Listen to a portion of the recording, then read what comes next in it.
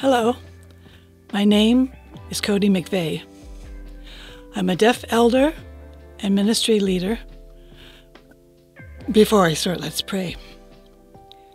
Dear Lord, I just want to thank you for all that you let us, all the people who are watching, take into our hearts and our minds everything that you do for us every day. For all of us, we pray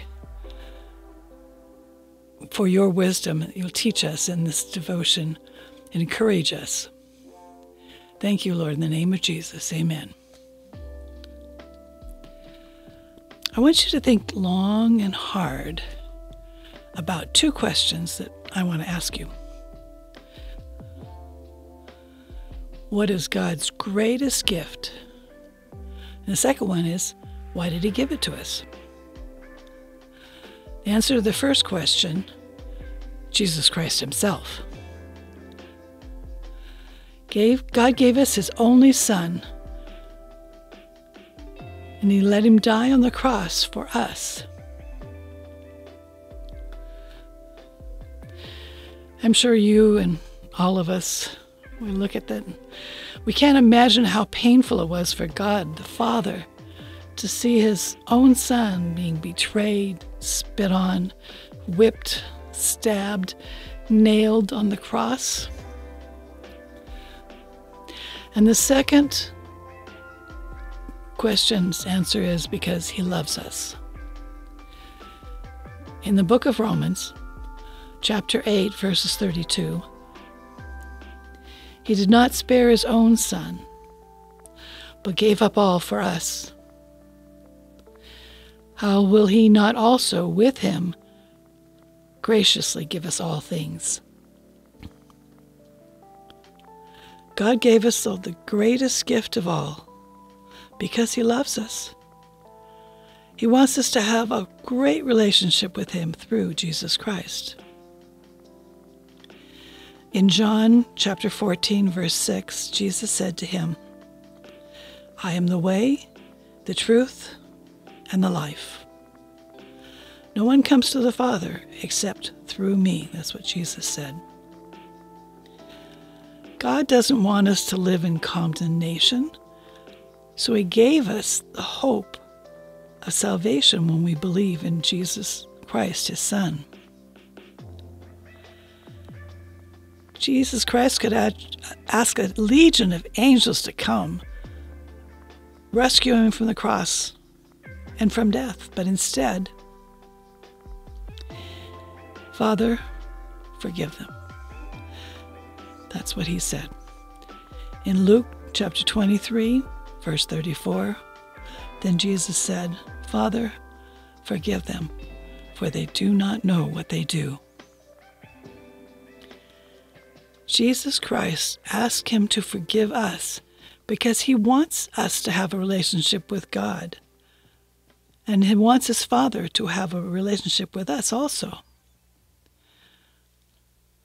Oh, he's a wonderful son he has. And having that wonderful relationship with someone who loves is the best thing to have. Oh, it makes us feel we're not alone.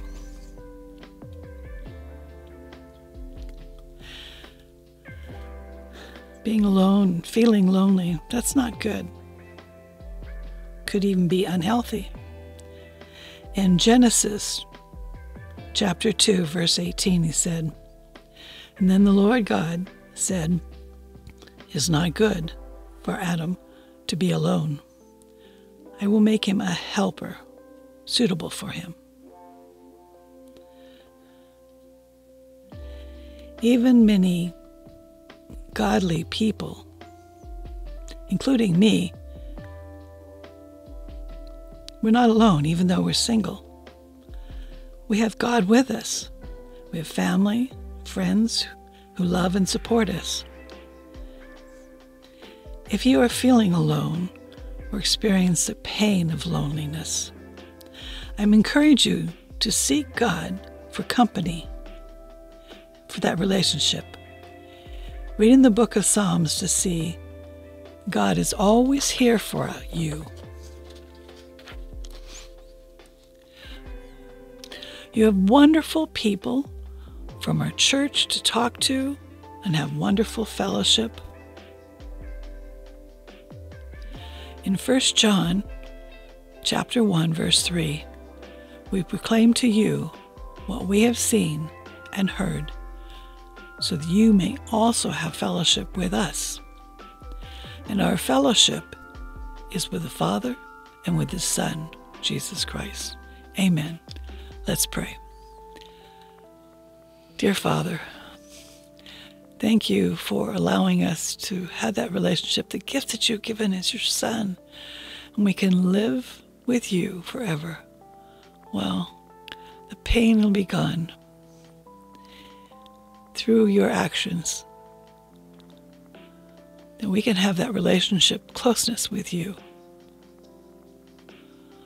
And as all the people out here can be connected and have fellowship with one another also and support one another and love one another, you want for us as a whole group to, to have love.